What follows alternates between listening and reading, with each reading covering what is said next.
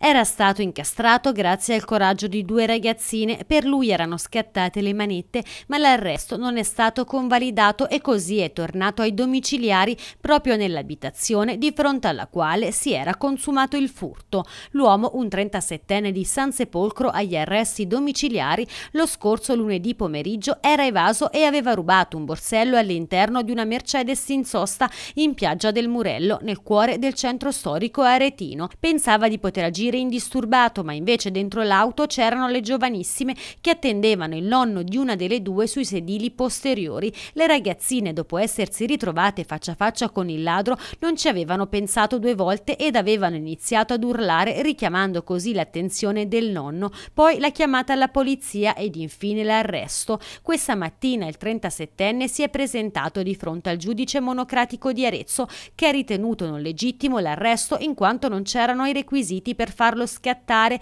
in primis la flagranza. L'uomo infatti è stato fermato alcuni minuti dopo il furto quando già aveva restituito al nonno di una delle due ragazzine quanto rubato. È stato invece convalidato l'arresto per l'evasione anche se al momento dell'arrivo della polizia era già rientrato in casa. Il prossimo 4 novembre sarà celebrata la direttissima.